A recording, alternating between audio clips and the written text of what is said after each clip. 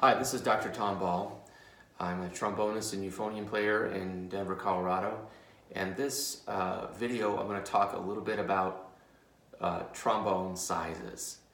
Um, this is always a, a, big mystery to a lot of my students and their parents when they're uh, moving maybe from a student line instrument to uh, an upper line instrument.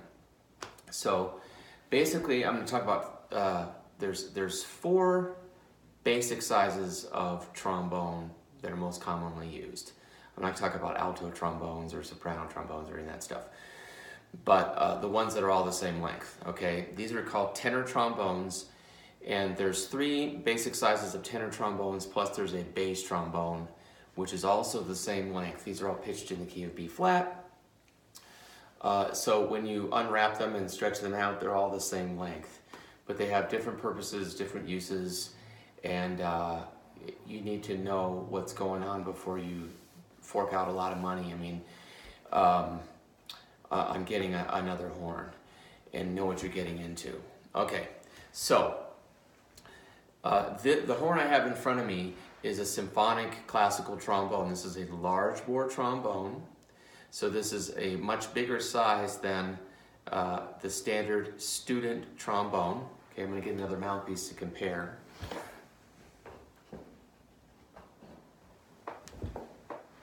One of the ways to tell the tenor trombone mouth uh, horns apart is to look at their mouthpieces.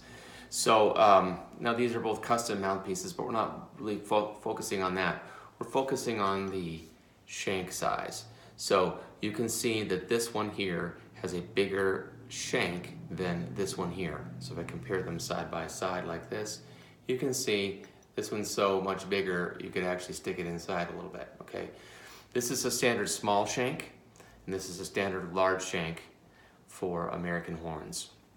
Okay, the small shank horn fits student line instruments and also professional small bore trombones. This is a large bore trombone. It will only fit, uh, this large shank will only fit into a large bore or um, medium large bore or a bass trombone shank. So this is the shank and this is the shank receiver. So this shank fits in here. This is larger than this one. So if I put this small one in there, it goes all the way in there, it doesn't work, okay? If you, if you have one of these bigger horns, don't use one of these with an adapter, just get another mouthpiece. Uh, it's not a good, not a good plan.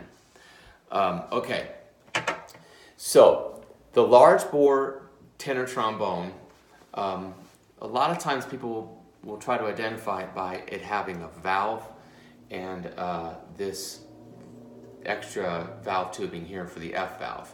That doesn't make it a large bore trombone. What makes it a large bore trombone is the actual bore size of the opening of the tube, okay? I'm gonna get another trombone to compare it to. This is uh, a smaller bore trombone. It's Conn, I mean, uh, King 3B. Um, if you compare these two side by side, you can see that this one here, the slide is a lot bigger, okay? So if I put it here, you can really tell uh, that this one is a lot wider, okay? The other thing is the difference is the bells. So I'm gonna put this up. The King 3B doesn't have that small of a bell, but if you compare them side by side, you can see that this trombone has a much bigger bell Obviously on my iPhone here, it's distorting how big the bells actually are, but um, the uh, small bore trombone only has a small shank adapter. Um, most of them don't have an F valve. The exception of that is a King. Uh, this King 3B is available with an F attachment. The King also makes a, more of a student line one I think it's called a 606 if I remember right. The 606 has also uh, a valve section, but the horn is not a large bore, um, and it's not really even medium bore either. It's just a, it's it's just not quite as small. So back to the the three tenor trombone sizes. Going to talk about bass trombone today because I don't have one here. Um, there's the small bore trombone. The small bore trombone typically doesn't have a valve on it small shank adapter, smaller bell section, lighter weight. Most of your student trombones are small bore trombones.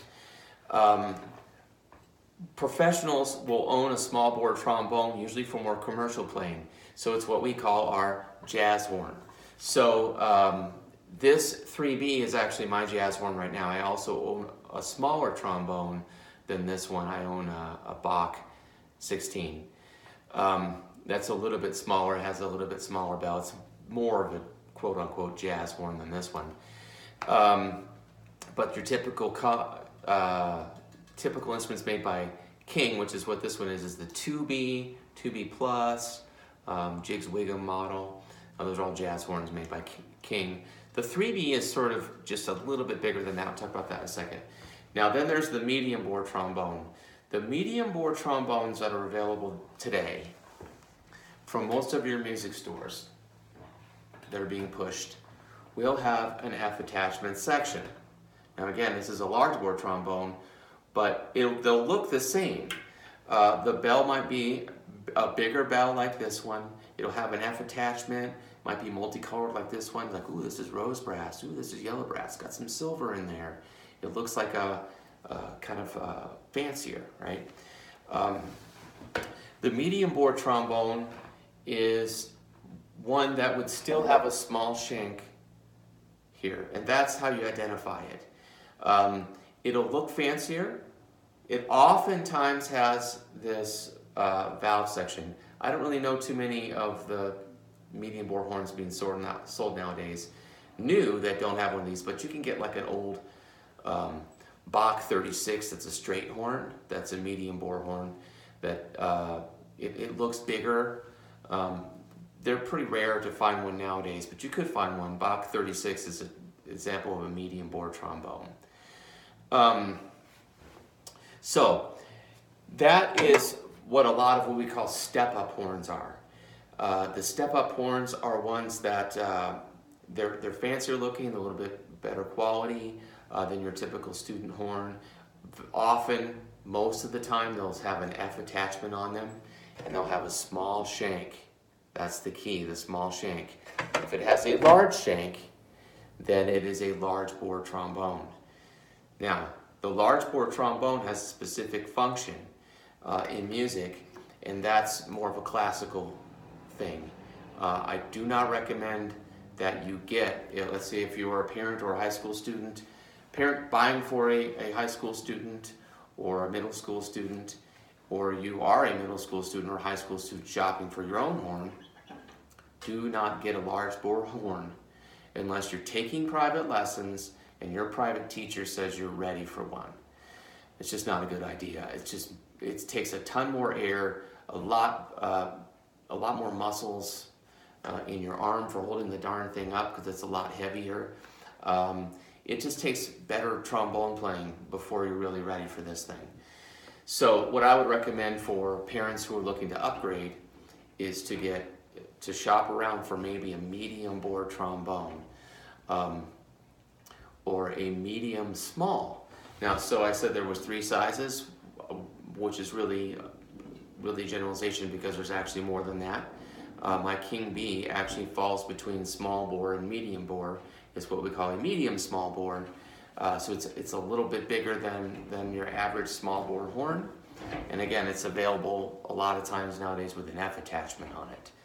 Um, so uh, that's the that's really wanted to say is, is you really want to look for a medium bore horn if you're looking to upgrade, and also what is your interests. Um, if you're just looking for a better all-round trombone, a medium bore trombone is where it's at. Um, the bore size actually on a medium bore trombone is 0.525 generally in that zone, and a large bore is 0.547 inches. And then the small bores are typically 0.500.